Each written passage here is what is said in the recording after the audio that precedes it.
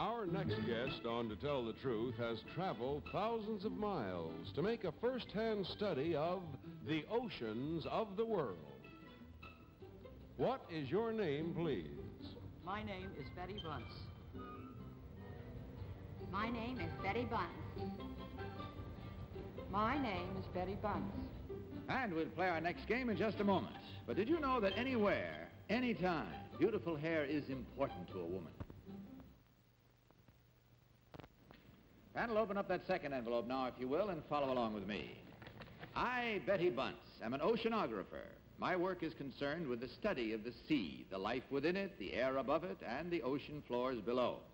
In addition to land-based laboratories and equipment, we maintain a fleet of research vessels on which I have traveled to various parts of the Earth's oceans. I recently returned from a voyage that took me halfway around the world. I am the chief scientist at the world-famous Woods Hole Oceanographic Institution. Signed, Betty Bunce. We'll continue this game in just a moment after this message.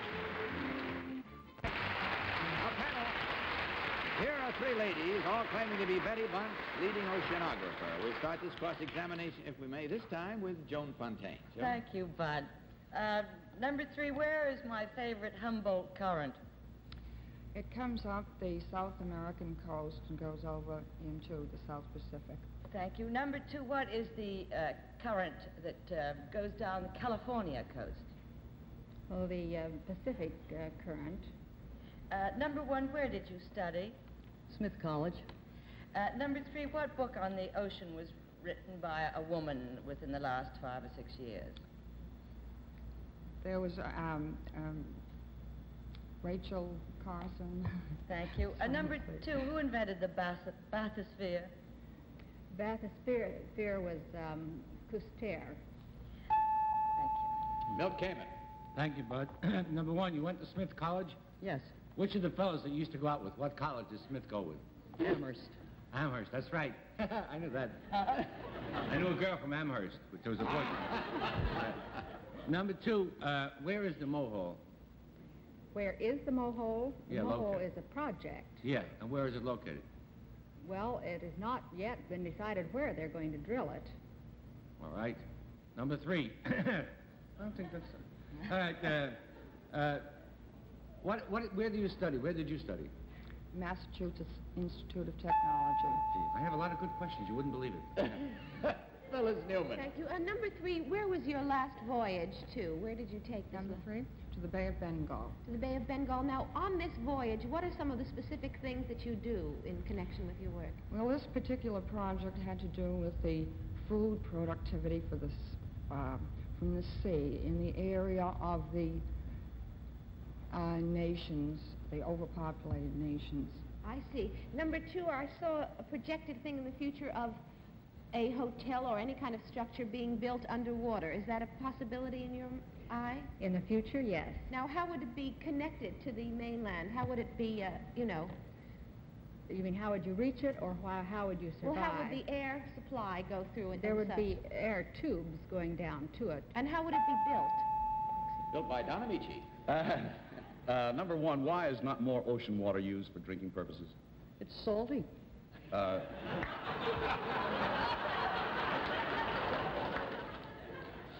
number two, Uh, actually, there is some being used for drinking purposes. Why not There more, I say? Because the equipment and the methods of refining the water, taking the salt out of it. uh, number three, what is the uh, uh, potential uh, for feeding of people in the ocean? The ocean is at least as arable as the land. That's it. Sorry, it's all the time we have. But with the time we have left, mark your ballots, if you will, please. Don't eat, just mark your ballots. Mark them at once, without change, no consultation. Vote for number one, vote for number two, or vote for number three. All ballots are marked, I see, and we'll find out how our panelists voted in just a moment. After this message about a General Foods product. Very well, panel, you've marked your ballots for the one you think is the real Betty Bunce. Phyllis, which one do you think it is? I think it's number three who answered the question so well. Wow, that's the shortest answer reason we've ever had from Phyllis. Yeah, I know. Don. well, uh, with the tremendous knowledge I have about oceanography, Bud. you know that my reason would be real valid if I had any. I voted for number three also. And Joan. Uh, number three was marvelous, so was number two, but I felt that uh, number one looked like a scientist. Bill Kamen? Is it upside down again? I, I, I think they all look like scientists. Uh, lady scientists. and I think the trip was good for all of them, but I think number three uh, is my choice also. She seemed, she said the ocean is as good as land for food. That's true. All right, there we have it. Just the reverse this time. We have three for number three and one for number one. But again, you sneak up on unanimity, but don't quite make it. Let's find out, shall we, whether this was a good bit of choosing or not, as we learn now which of these ladies, in truth, is one of the country's leading oceanographers. Will the real Betty Bunce please stand up? How does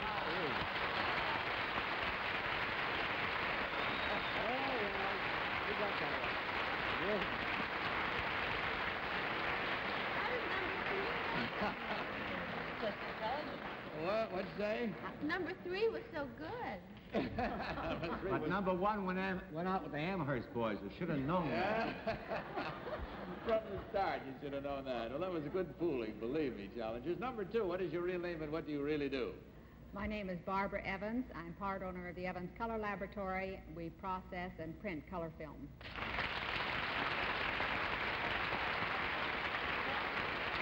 Thank you. And number three, you got most of the votes. What is your real name and what do you do? My name is Margaret O'Leary. I own the Records Coordinators Company, and I'm an efficiency expert. That explains a lot. well, we checked the score. We know what you already know, I'm sure, because you're probably mentally spending the money. You maybe want to take the, the boys of the first round out to lunch because they didn't do as well as you did. but you had three incorrect, and that's three times a $100. $300, ladies, for you to divide. May it bring you great joy as you did to us. Thank you. Goodbye, and God bless you.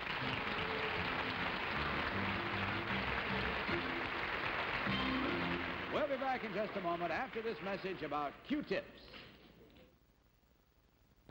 That's all we have time for today. Be sure to watch next week, won't you, when our panel will consist of Phyllis Newman, Barry Nelson, Rita Moreno, and Abe Burrows. Goodbye to you, panel, and thank you for a wonderful week.